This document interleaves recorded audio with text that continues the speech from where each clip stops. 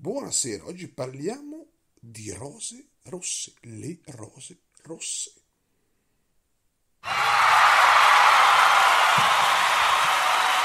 Eccoci qua, stasera parliamo delle rose rosse.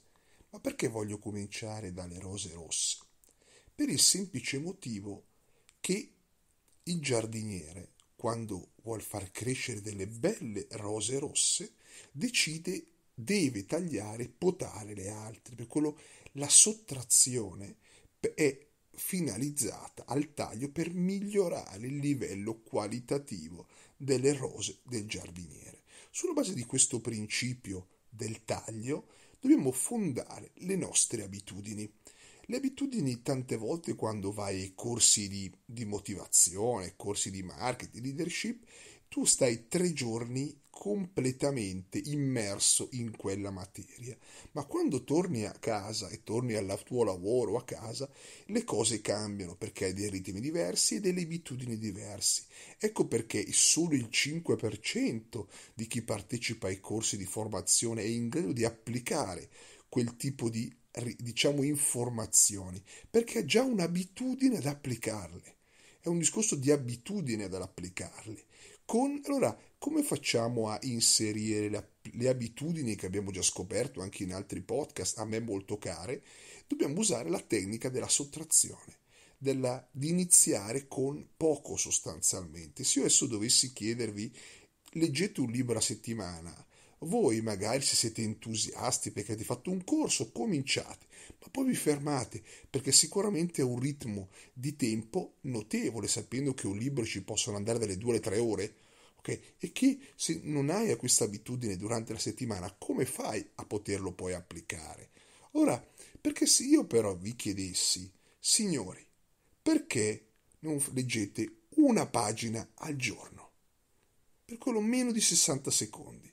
Ora, cominciando con un'abitudine di questo tipo, tutti i giorni, sabato e domenica, isole comprese, io sostanzialmente sono in grado di far sì che a un certo punto, in maniera automatica, tu leggerai il libro, ma avviene da solo. È come iniziare a correre.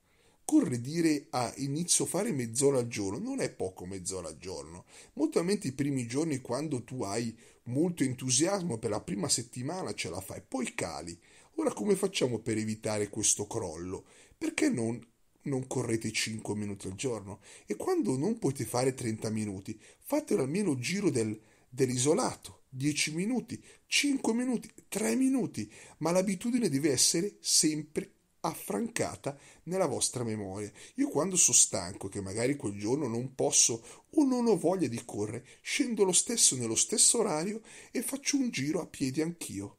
Cioè faccio 10 minuti, un quarto d'ora a piedi con il mio, ovviamente sempre il mio podcast in lettura che mi ascolto, ma diventa un mio momento. Mi organizzo nel modo tale che quella mezz'ora o dieci minuti, se non c'è, però rimane una costanza di una. Devo, devo fare per tre settimane far sì che quel piccolo grande che sia entri nella mia modalità di abitudine. Ora, da questa storia impariamo proprio questo aspetto fondamentale. E c'è una bellissima storia che voglio raccontarvi proprio su questo concetto. Se io ho un, in mano un fiammifero e dall'altra parte ho un tronco enorme, ok, e mi si chiede di accendere il fuoco, io la prima cosa che faccio accendo un fiammifero dove lo sforzo fisico è, è, non è elevato. Poi se sono un MacGyver della situazione, io posso benissimo usare quel fiammifero per accendere il tronco. Ok? Però viene di conseguenza il tronco. Mentre se vogliamo partire subito dal tronco, il problema è che ci stancheremo, non saremo in grado di implementarlo. Per quello io devo sempre dire a molti, perché questa è una lezione che mi sono preso anch'io perché il mio entusiasmo ha sempre su livelli troppo alti cognitivi, che presi poi dalle giornate molto frenetiche di tutte le attività nostre, di voi, della giornata, la famiglia, il carico lavorativo, non ce la si fa. Fino a quando essa non diventa un'abitudine potente, che vuol dire che io lo farò lo stesso, prima devo fare delle abitudini la quale la risposta è la faccio lo stesso, cioè la faccio. Ora, perché non ho nessuno sforzo 30 secondi, un minuto, due minuti, cosa sono? Però due minuti, vi faccio un esempio banale sulla lettura, che vi può far capire come la valanga di questa piccola abitudine determina in un anno. Ne parlavo ieri con mio cognato, ho detto ma tu quanto leggi? Perché non leggi un quarto d'ora al giorno? Che cos'è un quarto d'ora? Ok? 10 minuti al mattino, 10 minuti alla sera. Punto. Non si sta chiedendo uno sforzo di star via ore. Proprio 10 minuti al mattino, 10 alla sera. O 10 o 5. Un quarto d'ora al giorno. Un quarto d'ora al giorno moltiplicato per un anno fa 21 libri in un anno. Domanda, quanti libri legge adesso? Ora, 21 libri, signore, leggendo un quarto d'ora.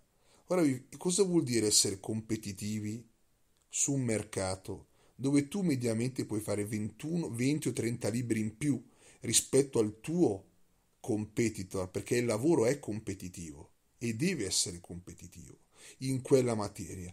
Poi se vorrai al, al mettere giù l'acceleratore da 20 arrivare a 40 non è così difficile.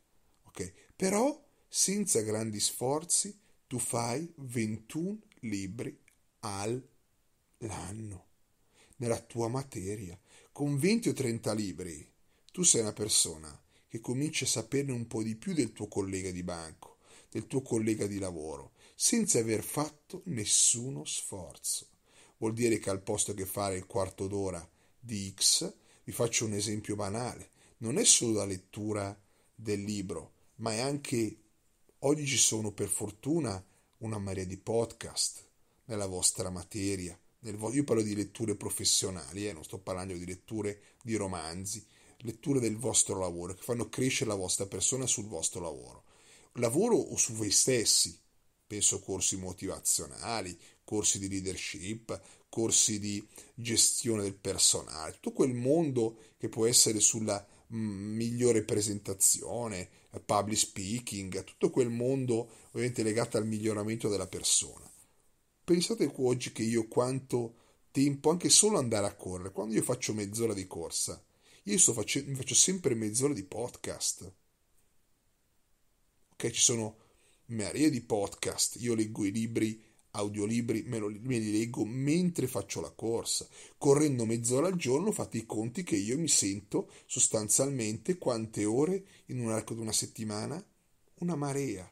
Perché faccio 20, 20 mezz'ora anche io di lettura. Poi quando corro un po' di più faccio anche un'ora di, di, di, di libri. Per quello è ovvio che un corso lo faccio fuori in una settimana, senza problemi, leggendo tranquillamente leggendo i libri, più i libri scritti quando sono al mattino che mi alzo, ma è uno sforzo che in questo momento non mi pesa zero, perché mi sono costruito un'abitudine.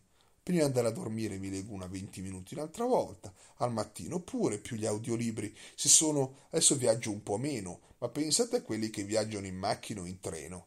Ma vi rendete conto che potete leggere migliaia di libri? Migliaia sto un po' esagerando, ma nella vostra carriera sì, in un anno potete arrivare benissimo a 40 libri senza accorgervi.